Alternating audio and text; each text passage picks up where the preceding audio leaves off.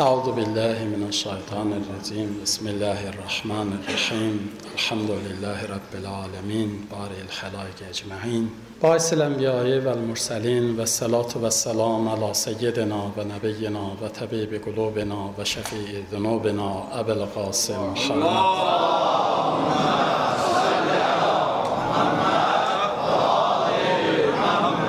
وعلى آله الأطيبين الأمجدين المطهرين ولعنة الدائمة على أعدائهم وغاصب حقوقهم وقاتل نفوسهم ومنكر فضائلهم أجمعين أما بعد قال رسول الله صلى الله عليه وآله وسلم المؤمن بين خمس شدائد. أما بعد أوصيكم عباد الله ونفس بتقوى الله. الله bəndələri belə bir gündə, günlərin seyyidi cümənin günündə, çağların, zamanların alisi zöhrün vaxtında, Allah evi adlanan bu səcdəgahda, bu müqəddəs ocaqda özümü və sizi insan evladın nicat verəcək yeganə haqq yolu olan və heç bir alternativi olmayan ilahi təqvanın rəayətinə dəvət edirəm. Və mütəal Allahdan istəyirəm təqva yolunun yolçusu olmaqlıqda cümləmizə yardımcı olsun. Huzurunuzda ərz elədiyim cümlə sevimli Peyğəmbərimiz Allah Rəsulü Həzrət Muhammed ibn Abdullaha.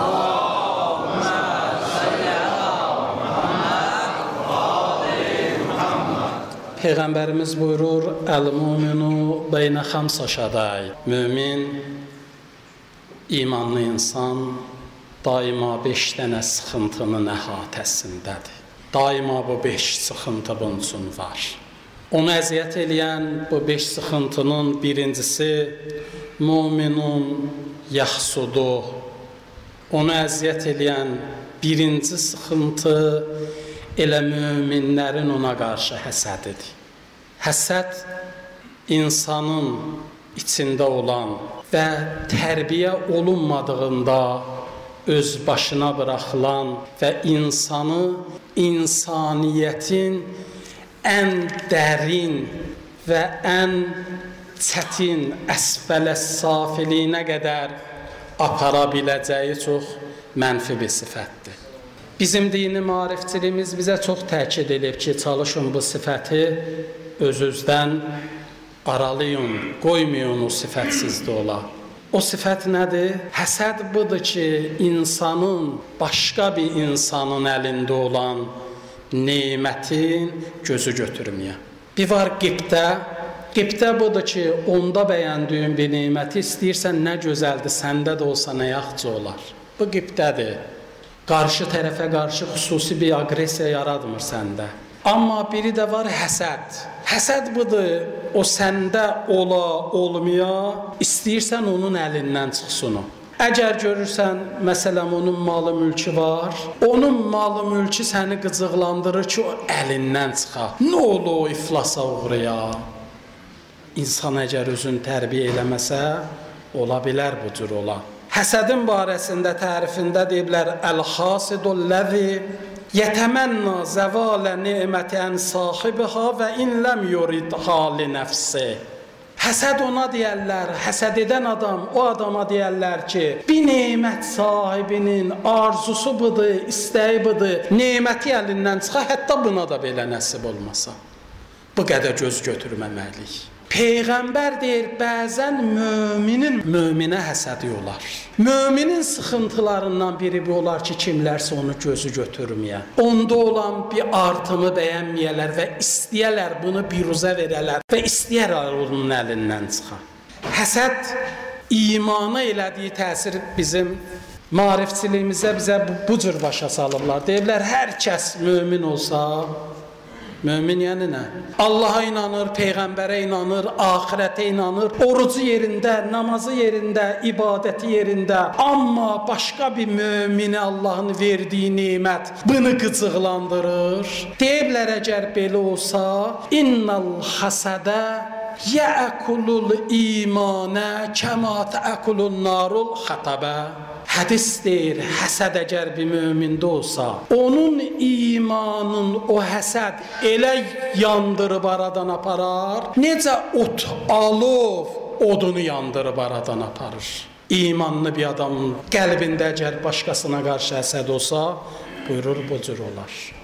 Hadi Əbbasının dövründə Hadi Abbası bir adam idi. Bəni Abbasın Allah ona lənət eləsin. Bəni Abbasın 4-cü xəlifəsi idi. Məhdi Abbasıdan sonra Harun ər-Rəşiddən öncəki xəlifədir. Cəmi 1 il xilafətdə olub. Bunun zamanında bir hadisə baş verdi. Xəbəri xəlifəyə cən çatdırıldı ki, gələ xəlifə müdaxilə eləyə. Qazi bilmir nə hökm eləsin. O nə idi? Bir gün qazi gəldi xəlifənin huzuruna görüş aldı. Dedi başımıza belə bir şey gəlib. Bir nəfər, iki tacir, iki mömin tacirin arasında bir ixtişaş var imiş. Bunlar bir-biri ilə rəqabət aparırmış. Bir zaman bəlli oldu ki, bu rəqiblərdən birindən xəbər ötər yoxdur. Ora axtarış, bura axtarış, ailəsi axtarır. Hanna bilindi ki, bu axtarışda olan mömin öldürülüb. Kim tərəfindən öldürülüb? Təbii ki, zehnimizə gəldi rəqibi tərəfindən. Bütün bunların arasında ixtişaş çox böyükdür. Elə o cür oldu. Şübhəli adam kimi rəqibinin sorağına getdilər. Cəsəd rəqibinin evinin üstündən tapıldı. İndi hər nadıyla, barışıq adı ilə mı, nə adına mı dəvət edib, rəqibin banda evin üstündə rəqibinin başını kəsib öldürüb. Bu niyyətlə deyir biz O biri rəqibi tutduq, gətirdik, saldıq zindana. İndi bəlli günlərin sayır ki, istintaq tam bitə, bundan inkar, amma bütün qərain göstərir ki, qatil budur. Bəlli günlərin sayır edam eləyərlər. Qazi deyir, bir gün mənə dedilər ki, sənin bir nəfər görüşüyə gəlib səndən qəbula düşmək istəyir. Dedim ki, gəlsin. İndi bunu Hadi Əbbasiyə danışır, xəlifəyə. Deyir, gəldi bir dənə qulam idi, qulami azad olmuş. Əlində qəbaləsi var idi, azadlıq kağızı var idi. Gəldi mənə dedi Qazılquzat, məni bir dənə şey nicaran eləyib, vicdanımı aram buraxmır, gəlmişəm etiraf eləməyə. Dedim, nəyə etiraf elirsən? Dedi, mən qul bazarında satışdaydım. Bir gün bir nəfər üstü qəşəng, normal görüşdü, bir adam gəldi qul bazarına, baxdı bir neçə qulam məni seçdi. Məni sahibimdən aldı. Məni aldı, apardı evinə, gördüm belə qəşəng möhtəşəm də evi var. Nə heyvanı var, qulu heyvana baxa, nə bağında bağbanı, bütün şəraiti. Soruşdum, ağa, mən nə edəcəm? Dedi, sənin işi ödəyəcəm sənə. Səhəri su götürdü məni, apardı mənə, geyim aldı, gündə yeməyimə xüsusi baxır. Hər dəfə soruşuram, ağa, mən neçə gündür buradayam, elə məni bəsləyirsən, bə mən nə etməliyəm? Dedi, narahat olma deyəcəm. Üstündən bir müddət keçdi, bu yaxşılıqların müqabilində mənim də buna məhəbbətim yarandı. Bir gün məni axşam idi çağırdı. Çağırdı, gəldim huzuruna. Bir dənə kağız yazmışdı. Bax bu həmin qəbalədir. Mənim azadlıq kağızım. Dedi səni azad eləyirəm, amma bir dənə səndən istəyim var. Azad da eləyirəm, istədiyin qədər də əmlak sənin ixtiyarında qoyuram. Söz ver ki, o istəyimi eləyəcəksən. Dedim, "Ha, nə əmr eləsən eləyəcəm." Dedi, "Yox, biraz çətin işdir. And iç ki, istədiyimi eləyəcəksən." And içdim ki, istədiyimi eləyəcəm. Dedi, "Bax, mənim bir rəqibim var. Mən onunla illərdir biz bir-birimizi batırmağa çalışırıq. Amma day mən başarmadım. O getdi üstə. İndi bir dənə yeganə yol budur. Bu həsəd məni yandırır. Onun müvəffəqiyyətinə də dözənmirəm. Bir dənə yol budur. Sən mənlə gedəcəksən, onun evinin üstündə mənim başımı kəsəcəksən. Dedim, "Ma belə şey olmaz." Dedi, "Və sən mənə and içdin. Sən mənə söz verdin. Mən sənin azadlıq qəbalını yazmışam, be belə pul qoymuşam ixtiyarıma." Biraz fikirləşdi, dedi, "Daş, özü istəyir də mənim azadlığımın da bundan başqa yolu yox. Deyir bu məni götürdü, çıxdıq evin üstünə. Bu evin üstündən o biri evin üstünə bəlkə ərəb ölkələrində görübsüz, evlərin üstündən o birisi evlərin üstünə yıllar. Deyir neçə ev çatdı o tacirin evinə. Uzandı, xəncəri verdi əlimə, dedi kəs başımı. Dedim ha, bəlkə fikrindən yayınasın. Dedi sən kəs. Kəsdim bunun başını, qəbaləni də götürdüm, mənə də ayırdığı pulları götürdüm, çıxdım aradan. Əhləyalına da demişdi ki, məni azad edib. Ondan sonra getdim, Biraz peşman oldum, amma da çarəsi yox idi. Biraz qaldım şəhərdə gözlədim, görəsən bunun hayı çıxacaq, məni axtarışa verəcəklər, verməyəcəklər. Hannananı eşitdim ki, bunun o rəqibin doğrudan tutublar. O plan baş tutub. Amma neçə gündə vicdanım məni azad buraxmır. Gəldim etiraf eləyim ki, onu yazığı yox mən öldürmüşəm. Qazi bunu indi Hadi Əbbasiyə danışır. Dedi, elə ki, gəldi məsələni mənə belə dedi, indi xəlifə sən özün buna müdaxilə eləməlisən. Mən necə eləm, xəlifə dedi, yəni doğrudan belə bir şey olur. Əmr elədilər, o adam gəldi. Hadi Əbbasi bir də bunu danışdırdı, dedi, bunu da buraxın. O birisində buraxın, qoymayıb, razı olmayıb ki, bir dənə günahsız adam ölümə məhkum ola. Qaldı o ölənə, o şərəfsiz ölümə layiq imiş adamın, insanın insana paxıllığı, həsadəti bu həddə ki, razıdır özü ölə, buna nail ola ki, o birisinə də bir sədəmə vura, onun ölümünə bais ola. Deyirlər, bir nəfər birinə dedi, bilirdi qonşusu ilə arası yoxdur. Bir imkanlı adam birinə dedi, məndən nə istəyirsən, istə sənə verəcəm. Amma qonşuya iki bərabərin verəcəm. Bilirdi arası yoxdur. Qaldı fikirləşdi, nə istəyim? Bir dənə ev istəyəcəm, qonşuya ikisini verəcək. Bir dənə bağ istəyəcəm, qonşuya ikisini verəcək. Fikirləşdi, fikirləşdi, dedi səncə belə elə, mənim bir gözümü çıxart. Licbi qonşunun. Peyğəmbər deyir, mömin 5 dənə çətinliyin, əziyyətin içindədir. Onlardan biri də elə özgənin yox, möminlərin bunun haqqında paxıllığı və həsadətidir. İkincisi, münafiqun yub'izuh. İkinci sıxıntı ki, mömin həyatında daima ondan üzbəüzdür. Münafiq insanların ona qarşı olan qəzəbi və kini küdurətidir. Münafiq insan kimdir? Bir mömin insan var, bir kafir insan var. Mömin o insandır ki, iman əhlidir. Kafir insan o insandır ki, bəlli və aşkar olaraq imandan, etiqaddan vaz keçib, inanmır.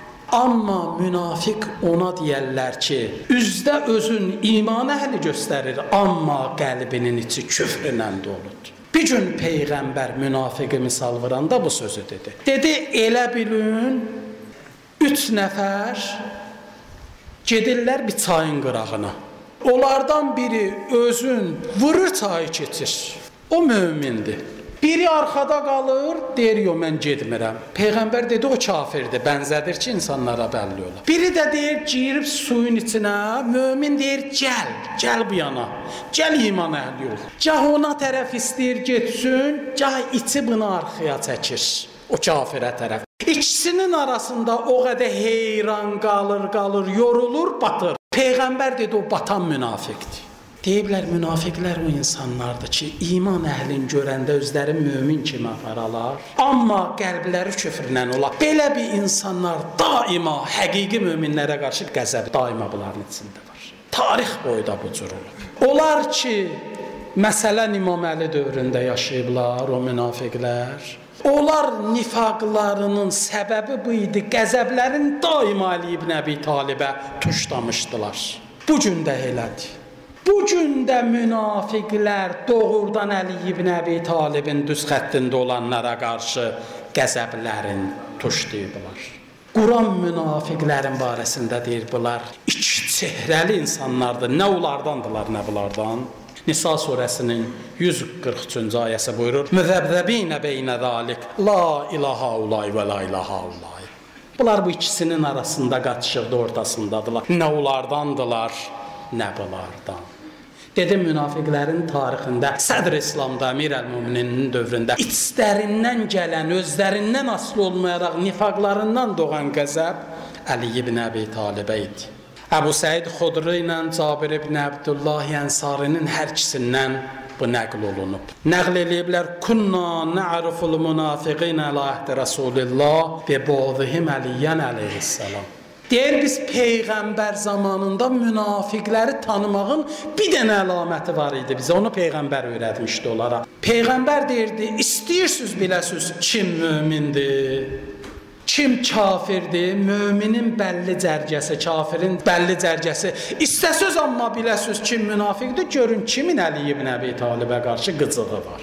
Kimin Əli ibn Əbi Talibə qarşı qəzəbi və nifrəti var. Onlar münafiqdirlər. Peyğəmbərimiz buyurdu, mömin 5 sıxıntının içindədir. Birincisi, möminlərin ona həsədi. İkincisi münafiqin ona qəzəbi. Üçüncüsü kafirun yuqatilu. Möminin üçüncü sıxıntısı onu öldürmək istəyən, ondan müharibə istəyən, onun qanına suslayan kafirlərdir. Bu da bəlli bir məsələdir. Qurani Kərimin də maarifçiliyi bizə bunu öyrədir ki, heç vaxt küffar sizi unutmayacaqlar. Daima onlar sizin yoxluğunuza qədəm götürəcəklər. Elə o gün ki, Quran bunu bəyan eləyirdi, o gün də belə idi. Ona qədər də bu cür idi, bu gün də belədir. Bu gün də cahanı küfr, müsəlmanlar pis günə qalıb əgər günümüzü müşahidə eləsəz, hər nə də geridədirlər. Amma yenə də bunların ürəyi soyumuş. Məhz istəyirlər müsəlmanların evlərinə ot tökələr, alov tökələr, bomba tökələr, canlarını da aradan aparalar, qətl eləyələr onları, soyqırım eləyələr onları. Peyğəmbər buyurdu möminlərin üçüncü sıxıntısı kafirlərin onları öldürmək istəmələridir. Dördüncüsü nəfsun tudillu. Möminin yaşadığı sıxıntının dördüncüsü o nəfsdir ki, onu zəlalətə tərəf çəkməkdir. Qurani Kərimdə nəfsin barəsində deyir: "İnnən nəfsə ləmmaratun bis-su." Yəni nəfs insanı pisliklərə tərəf çəkir. Ona görə bizə deyiblər, deyiblər nəfs bir şeydir. Əgər sən onu tərbiyə eləməsən, sən onu əzməsən, sən onu sıxmasan, o səni əzəcək, sürükləyəcək. Hara istədiyi yerə. İnsan bir cürdür ki, əgər nəfsin boşuna buraxsan, nəfsində ondan iş yox, nəfs adamı zəlalətə aparacaq. Nəfs adamı aparacaq o yerlərə ki, insan yolun aza, zəlalətə düşər. Nəfsi öz başına buraxsan, nəfs onu cinayətlərə çəkəcək. Odur bizə deyiblər əzün nəfsüzü. İçərizdən gələn o istəkləri sizə verdiyi nankor əmrləri əzün. Onunla da ki özünüzü eləyə bilərsiniz, tərbiyə eləyərsiniz. İslam məktəbində onlar ki müvəffəq oldular, onlar ki hidayət oldular, o adamlardır ki nəfslərin əsdilər. Onlardır ki, daxillərindəki təkəbbürü sıxdılar. Onlardır ki, həsədə imkan vermədilər. Nəfsin istəklərinə qoymadılar. Sərkeşliyə eləyə, özbaşınalıq eləyə. Molla Hadi Səbzivari İslam dünyasının çox böyük şəxsiyyətlərindəndir. O adamlardandır ki, da onun barəsində sünnəşiyə yoxdur. Hamı deyir Molla Hadi Səbzivari İslamın böyük oğullarındandır. Özü də filosof idi, fəqih idi, müfəssir idi. Dolanışığı da bu idi, bu əkin əkərdi, buğda əkərdi, çəlti əkərdi, onunla dolanardı. İndi cavanlığında fəqih olmuşdu, filosof olmuşdu. Bir gün indi əkinin əkib gəldi, xırman başında zəkatını ayırdı. İki gün saxladı oradakı quşlar da gəlsin öz payını götürsün. Ondan sonra gəldi. Allah o da bərəkət vermişdi. Hesabladı, gördü, bax, boynuma həcc gəlib. Bu belə bir əmlakla ki, bunun pılı ilə boynuma da müstəti olmuşam, gərə həccə gedəm. Gəldi evə, yoldaşına dedi ki, bu illəri bizim qazancımız çox-çoxdur. O da boynuma həcc gəlib və hesabladım, gördüm hətta səni də apara bilərəm özümlə. Bu qədər də imkanımız var.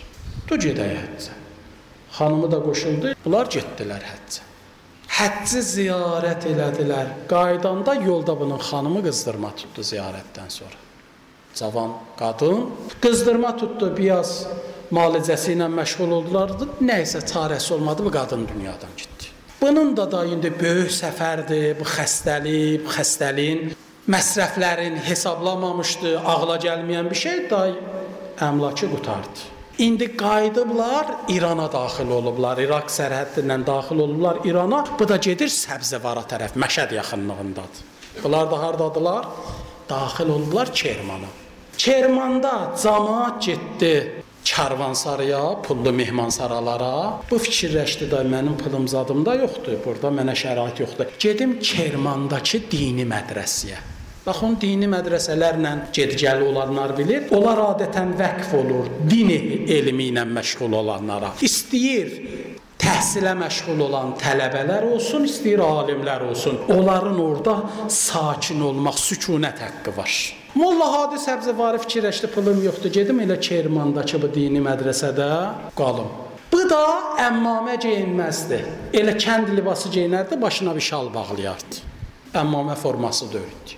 Bu gəldi girdi mədrəsəyə, dünya şöhrətli Molla Hadi Səbzəvari. Girdi mədrəsəyə, yaxınlaşdı qapıçıya. Salam əleyküm. İstəyirəm burada bir 2-3 gün ki bizim karvan karvan saradadır. Mən burada qalam bu 2-3 günə. İcazə olar.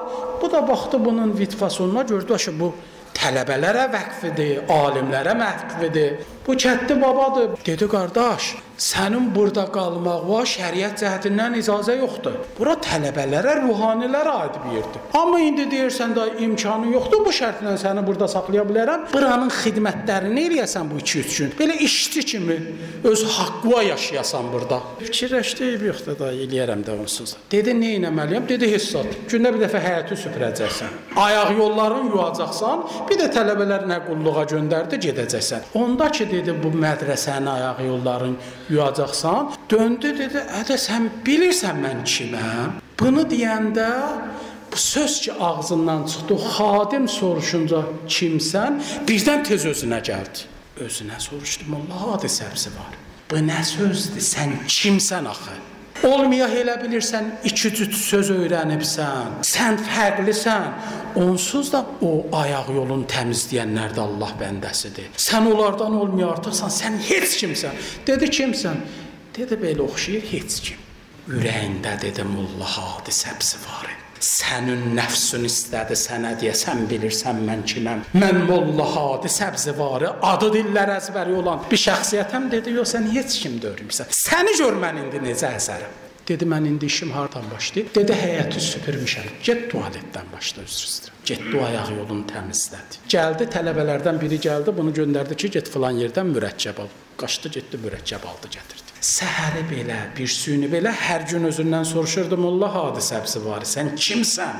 Cavab verirdi, hələ heç kim. Hələ heç kim, hələ heç kim 3 il qaldı Kerman mədrəsəsində. 3 il işi bu oldu ki, oranın gündə ayaq yolusunu təmizləyə, həyətin süpürə, orada gecəliyə bir qarında orada yemək verirdilər ona, yeyirdi da oranın işçisi kimi. Tələbələr də hərə bir qulluğa qaçırdırdı bu kişini. Bu da cavan idi əlbəttə. Cavanlığında dünya şöhrətli alim oldu. 3 ilin içində bir dəfə bu xadim ki buna demişdi, sən burada qala bilməzsən. Gün keçdikcə ki, bununla bir yerdə qalırdı, gör çox bu belə layiqli adamdır. Buna dedi sən evin işin ailin yoxdur. Dedi ailəm var idi, ölüb. Dedi mənim bir dənə qızım var. Biraz elə də görünüşü də bir şeydir, yaşı da keçib, amma sənə babdır. İstəyirsən onu verim sənə. Nəysə razılaşdı. Molla Hadi Səbzivarının 4 uşağı da elə o qadından olub. 3 ildən sonra bir gün özündən soruşdu ki, artıq həm də evlidir. Özündən soruşdu, Molla Hadi Səbzivari, sən kimsən? Baxdı, gördü, fikirləşirəm elə heç kim dedi, deyəsən mən əsdim o nəfsi. Durdu xanımın da götürdü tələbələrlə də, o xadimlə də xudafizləşdi, gəldi Səbzivara. Səbzivara daxil olanda cəmaət eşitdi Molla Hadi Səbzivari ki, 3 il yarım, 4 il bundan əvvəl həccə getmişdi, indi qayıdır. Möhtəşəm bir dənə qarşılama mərasimi zat yenə getdi o ali mədrəsə ki, orada dərs deyirdi, başladı dərs kürsüsünü davam eləməyə. Üstündən bir neçə il keçəndən sonra Kerman mədrəsəsindən üzr istəyirəm, getməmiş amma bir hadisə olmuşdu. O da bir idi, bir gün bu həyəti süpürürdü, gördü Seyid Cavad Kermani daxil oldu mədrəsəyə. Mədrəsənin də 200 şagirdi var idi. 200 şagirdi var idi, Seyid Cavad Kermani oturdu bunlara fəlsəfə dərsin başladı day tələbələrə. Fəlsəfənin dərslik kitabı da Mənzume-i Hikmət Molla Hadi Səbzi var idi. Bu indi hər gün onu süpürəndə Seyid Cavad Kermanidə dərsini deyirdi. Bir gün gördü Seyid Cavad Kermani gəldi, bir mətləbdə nəsə ilişdi, elə bir yaxçı demədi. Onu utdu. Onda ki gedirdi. Tələbələrdən birinə ki, Seyid Cavad Kermanın dərsində dedi, dedi bunu ağaya deyərsən, o təhlili ki, bu fəlsəfənin filan yerində verdi, o belədir, belədir. Dedi, çıxdı, getdi. Bu tələbə gəlib deyəndən sonra ki, Seyid Cavad Kermaniyə ki, belə bir bizim o xadim belə bir söz dedi, dedi, yox, bu xadim məsələsidir. Nəysə, üstündən zaman keçdi. İllər keçdi, bu mədrəsənin ən ali iki tələbəsini seçdilər. Nə üçün? Dedilər, da siz böyük elmi dərəcəyə çatıbsınız. Bu mədrəsə, Kerman mədrəsəsi sizi təmin eləyənməz elmi cəhətdən. Yeri var, gedəsiz Molla Hadi Səbzəvarinin şagirdi olasınız. İndi bu iki tələbə üçün şərait yaratdılar. Mindilər qatıra, səfərə çıxdılar, gəldilər, çatdılar Səbzəvara. Balam, Molla Hadi Səbzivarinin elmi ocağı hardadır? Dedilər filan yerdə. Bunları gətirdilər. Bu iki tələbə girdi, gördü Molla Hadi Səbzivarı dərs deyir. Göz işlədikcə tələbə oturub huzurunda. Bunlar uzaqdan baxırlar. Molla Hadi Səbzivar deyir, hə, həmin adam, həmin geyim, həmin başının şalı. Ay bala, bu bizim mədrəsənin xadiminə oxşamır. O biri dedi, mən də belə oxşadıram. Dərs qutardı. Hamı aralanandan sonra bunlar gəldilər, yaxınlaşdılar. Dedilər, "A, sən bizim mədrəsənin xadimi dörsən." Dedi, "Buracan haqqınız var idi." Gördüyünüz bir sizə sorğu yaradan bir şeyi soruşasınız. Bəli, mənəm, amma indən belə mənim haqqımdır. O zaman acan ki mən bu həyatdayım, siz bu sirri kimsəyə açamırsınız. Dedilər, "Bə, ağa, bu 3 il o ayaq yolun yumaq, oranı təmizləmə nə üçün idi elə mədrəsədə dərs deyirdin də bizə?" Dedi, "Yox." O bilirsiniz nə üçündür? Bu cəmiyyəti görürsüz, dedi. Dedi bu cəmiyyətin bəhbəhinin, cəhcəhinin qabağında duran Molla Hadi səbzi var, nəzmə üçün idi. O dərslə olmazdı.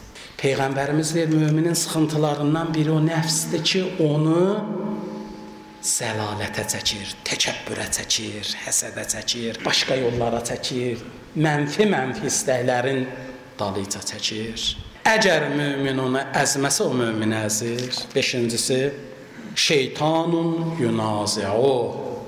5-ci şey ki mömin ondan əziyyət çəkir, o şeytandır ki, ondan hərb alındadır. O şeytan ki onu azdırmaq istəyir. O şeytan ki o mümini incidir, ibadətinin qabağında da sədd qoyur, yaxşı əməlinin qabağında sədd qoyur, halal ruzisinin qabağında sədd qoyur. Bir mömin daima bu 5 dənə sıxıntının içindədir. Allahın verən əzəmətinə, izzətinə Peyğəmbərimiz buyurduğu bu sıxıntıları rahatlıqla dəf eləməliyə cümləmizə qüdrət versin. İmam Zaman ağanın zuhurunda təcil eləsin. Bismillahirrahmanirrahim. İnna ataynakal kavsər. Fasalli li rabbika vanhar. İnne şaniyaka huvel abtar. Sadaqallahul aliyyul azim. Allahumma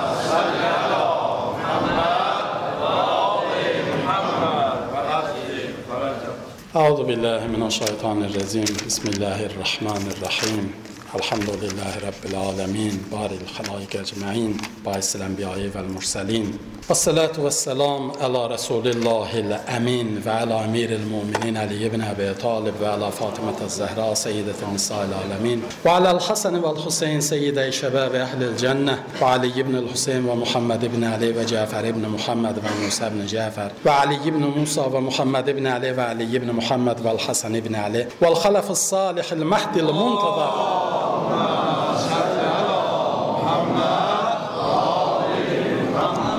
روحي وارواح العالمين لتراب مقدمه الفدا.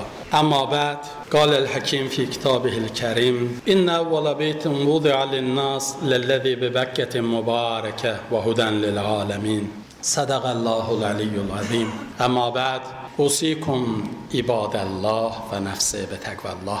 Allah bəndələri daha bir dəfə özümü və sizi ilahi təqvaya dəvət edirəm.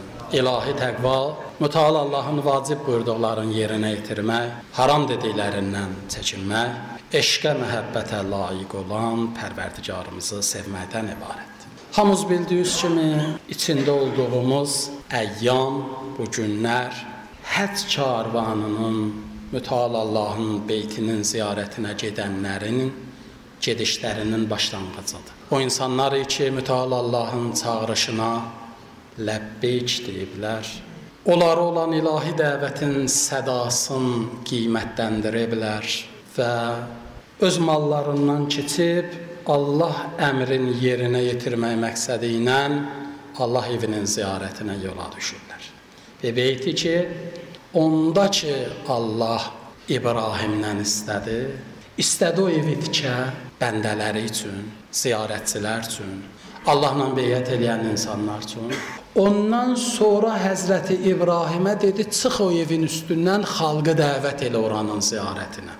Səhranın ortasında tikilmiş bir binanın üstünə çıx, xalqı çağır. Bir səhra ki, göz işlədikcə qumdan başqa bir şey görülmür. Nə xalq görünür, nə insan görünür, kimi çağırsın. Amma dedi İbrahim, sən çağır. Səsdə Allah bəndələrin o evin ziyarətinə. İbrahim çıxdı, çağırdı. Allah deyir, çağır, çağır. Hədisdə var deyir, bu günə qədər və qiyamətə qədər o insanlar həccin ziyarətinə gedəcəklər ki, İbrahimin çağırışına ləbbeyk dedilər. O insanlar ki, mallarından keçəcək qədərində bu çağırışa dəyər verdilər.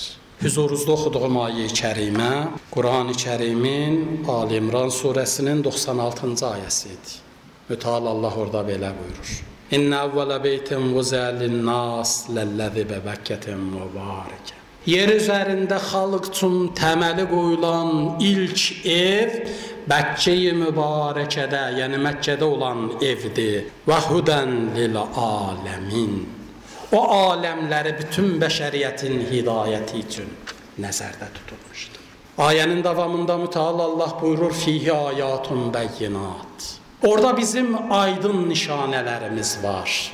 Məqamu İbrahim, orada İbrahim məqamı var. Və mən dəxələhu kana amina. Və hər kəs ora daxil olarsa əmin-amana daxil olar.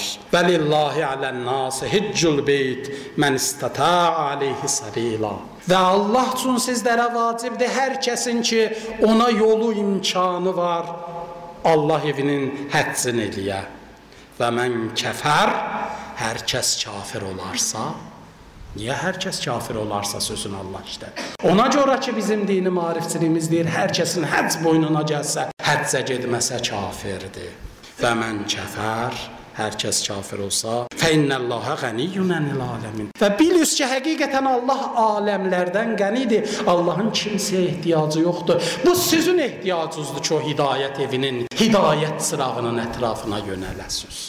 Həccin barəsində bizim dini maarifçiliyimiz deyir Allahın evini tənha qoymayın. Hətta imamların peyğəmbərlərin və onların vəlilərinin barəsində var ki, dini maarifçiliyimiz dəstur verir. Əgər bir gün görsüz, müsəlmanlar dindən dondan çıxıb və Allah evin tək qoyublar, müsəlman rəhbərliyi insanlara pul versin, yol pullarını versin, yeyib içmək pullarını versin, zəhmət haqqısını versin, desin, gəl öz bu pulları ged öz evin başına təvaf edin, gedin həcc əməlin yerinə yetirin. Niyə?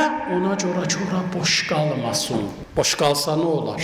Baxın ora Allah evidir. Yer üzərində Quran dedi təməl olunan, insan evi üçün təməl olunan ilk ev, ilk məscid və hidayət ocağı. Baxın, hidayət ocağı. Məscidlərin o gündən ki Allah ilk məscidin bənasını qoydu, oranı hidayət evi kimi bənasını qoydu. Ondan sonrakı məscidlərində missiyasını elə ilk məscidə uyğun olaraq istədi, yəni hidayət evi olmaqlıq.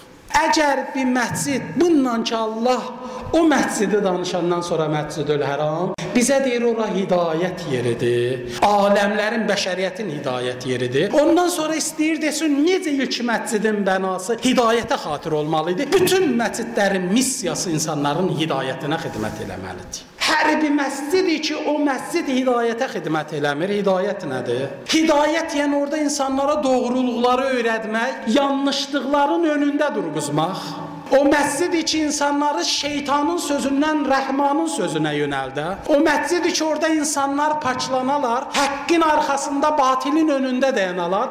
O məscidi Qurani Kərim hidayət ocağı tanıyır. Təkbir! Allah! Allah! Və bizdən istəyiblər ki, o hidayət ocaqlarında olaq. Qurani Kərimdə sağlam bir məscidi Allah bu cür məna eləyib. Buyurub fihi ricalun yuhibbu an yatatahharu. Sağlam bir öz effektivliyin qoruyan məscid o məsciddir ki, onun içində yığışan kişilər paçlanmaq niyyətində olan kişilərdir. Onlar hidayət olmaq istəyində olan insanlardır. Ya başqa ayədə peyğəmbərimizə deyir: "Ya Rəsulullah, o məscid içi kökündən, özəyindən, təməlindən təqvanın üzərində qurulmuş ola və insanlara hidayət məktəbi, hidayət ocağı ola, belə bir məsciddə sənin durmaqlığın, namaz qılmaqlığı haqqın var." Bu günləri mütəal Allah bizdən o həccin ziyarətini istəyir. Düzdür. Bu günləri yaşadığımız gündə Allahın nəzərdə tutduğu o hidayət ocağı belə, Məscidül Həram belə, Kəbə belə ətrafın hidayətdən boşaldıblar. Bu günləri mənfur simalar, sehyunizmə, böyük şeytana xidmət eləyən hakimiyyət o məscidin effektivliyini aradan aparmaq istəyir. Amma yenə də Onlar ki, iman xəttində vardılar. Onlar ki, həqiqi ixlasla din dalıca o Kəbə evinin ətrafına gedələr, yenə onlar üçün o hidayət təməli yerindədir. Yenə onlar Quran-ı Kərim dediyi kimi Quran dedi orada İbrahim məqamı var. İbrahim məqamı bir zaman İbrahimin ayaq qoyduğu məkan anlamındadır. Bir zaman İbrahim məqamı İbrahim peyğəmbərin tutduğu mövqe anlamındadır. İbrahim nə idi? İbrahim bir insan iki bütpərəstliklə, kafirliklə, fəsadla, zülmlə, xurafatla mübarizə edən bir dənə ilahi rəhbər. Bizə deyirlər, gedin o evə. Gedin o hidayət evində İbrahim məqamı zamanda İbrahim mövqeyindən bəhrəmənd olun və qayıdın. Ondan sonra İbrahimi var olacaq bir insan kimi yaşayın. Allahın verirəm əzəmətinə, izzətinə. Bizim də ölkəmizdən həccə gedən insanların həccini qəbul eləsin. İkinci məqam ki, önümüzdə olan günlərdə var. Hamımız bildiyiniz kimi bu il sentyabr ayının 14-ünə təsadüf edir. İmam Məhəmməd Təqinin şəhadətidir. İmam Məhəmməd Təqi Şiə dünyasının 9-cu imamı Hicrətin 195-ci ilində Mədinədə dünyaya gəldi. Mədinədə dünyaya gəldi və cəmi 25 il mübarək ömrü sürdü. Hicrətin 220-ci ilində Mötəsim Əbbasi tərəfindən ağa məsmum olundu, ağanı zəhərlədilər və dünyadan mübarək gözün yumdu. O Həzrətin barəsində həm öncəki illərdə danışmışıq, həm Həzrətlə əlaqədar mərasimlərdə təbii ki, danışılacaq. Çox onun barəsində danışmaq istəmirəm, amma bir cümlə ilə istəyirəm Həzrətin haqqında bir fikir yürüdək. O da budur, İmam Rıza ağadan belə bir cümlə var. Ağa buyurur, ləm yulad mevludun a'zam barakatan ala şiatina min. Ağa buyurur, bizim şiəmiz üçün İmam Məhəmməd təqidən bərəkətli doğum olmayıb. Bu söz ilkin baxışda çox təəccüb gəlir adama. Şeyh üçün Əmirəl-Müminin Əli ibn Əbi Talibin doğumu var. Şeyh üçün Həsənin, Hüseynin, o biri imamların kullukum nurun vahid tabət və tahurət ba'duha min ba'd. Hər biri bir nur olan, bir-birindən pak, bir-birindən işıqlı simalardır bunlar. Nədən? Fəqət ən bərəkətli mövlud İmam Məhəmməd Təqini adlandırıb səbəbi bir dənə nöqtədir. O da budur İmam Məhəmməd Təqib ilk imamdır ki, atası İmam Rıza dünyadan gedəndə 8 yaşında şiələrin imamı kimi nəsb olundu. O zaman çox bir gərginliklər yaşandı. İmam Məhəmməd Təqi 8 yaşında imamətə çatanda hətta şiə fəqihlərinin arasında bəzi anlaşılmazlıq yarandı. Amma bu anlaşılmazlığı İmam Məhəmməd Təqi öz elmi şəxsiyyəti ilə, qeyb elmi ilə, qeybdən verdiyi xəbərlərlə, mənəvi şəxsiyyəti ilə, bütün fəqihlərdən daha ali məqam olmaqlığı ilə, zöhdü ilə, ibadəti ilə təsdiqlədi. Və bu təsdiq nəyə xidmət elədi? Bərəkəti bunun harasında idi? Baxın, bu bərəkətin səbəbi bu idi. İmam Məhəmməd Təqi Şiə dünyasına bir dənə keçid dövrün yaşatdı. O keçid dövrü nə idi? Çün İmam Məhəmməd Təqinin ölümündən çox yox. Cəmi 55 il sonra bir imam doğulacaqdı ki, heç vaxt xalq onu görməyəcək. İmam doğulacaqdı ki, xalq onun 5 yaşında olduğunu biləcəkdi imamətə çatanda. Onda birdən bir insan, bir imamla üzləşəcəkdilər. Həm eşidəcəkdilər bizim imamımızın 5 yaşı var. Həm də o imamı görməyəcəkdilər. Onda özgələr yox, şiyələr azğın düşəcəkdilər. 12 imamçılıq düşüncəsini, təfəkkürün qorxuya, vəhşətə sala bilərdilər. Onda idi ki, bütün peyğəmbərlərin, bütün imamların xalqa verdiyi Həzrət Höccət nəzəriyyəsi sual altına düşə bilərdi. Amma bu keçid dövrün insanlara məhz İmam Məhəmməd Təqi 8 yaşında imamətə çatarkən və həyatı ilə sabit elədi. Onda ki ondan 55 il sonra xalq eşitdi, imamımız bu dəfə 5 yaşında bir insandı. Onda cemaat hürkmədi. Gördülər biz dünyanın önündə dayanmış bir 8 yaşlı imamımız var idi. 8 yaşdan 5 yaşın arası elə bir şeydir. Odur cemaat bu məsələni bir dəfə təcrübi olaraq yaşadıqlarından ikinci dəfə şübhəyə düşmədilər və bu bais oldu şiələrin İmam Mehdi nəzəriyyəsi ilə əlaqələri qırılmaya və məhz bu idi ki, ən böyük bərəkət idi şiə dünyası üçün. İmam Rıza ağa buyurdu ki, bizim şiələrimiz üçün o ağadan bərəkətli bir doğum olmayıb. Üzümüzə gələn günlərdə Siqədənin axırıncı günü ki, sentyabrın 14-nə təsadüf edir o ağanın şəhid olduğu gündür. Allahdan istəyirik dünya və axirətimizi o ağadan ayırmasın. Mübarək nəzərin cümləmizin halına şamil eləsin. Allahın verirəm əzəmətinə, izzətinə Xudaya bütün bəşəriyyətin müşkilatının həlli Hüccət ibn Həsənin yedi mübarəkindədir. O ağanın zuhurunda təcil elə. Xudaya dinə xidmət eləyənlərə yardımcı ol. Xudaya din rəhbərliyi, şiyə öndərliyin yerin göyün bəlasından hifz elə. Xudaya din yolunda, Quran yolunda, hicab yolunda həbsdə olan din qardaşlarımızı tezliklə azad elə. Xudaya bütün müsəlman torpaqların, o cümlədən Qarabağı, doğma Azərbaycanımızın qucağına qaytarmaqla dünya müsəlmanlarının qəlbini şad elə. Xudaya şəhidlərimizin ruhunu şad elə. Xudaya ölənlərimizi əgər indiyə qədər bağışlamayıbsan, səs sahə bağışla cənab. Bismillahirrahmanirrahim. Qul huvallahu ahad, Allahu samad. Lam يلد ولم يولد ولم يكن له كفوا أحد. صدق الله العلي العظيم. والسلام عليكم ورحمة الله وبركاته. الله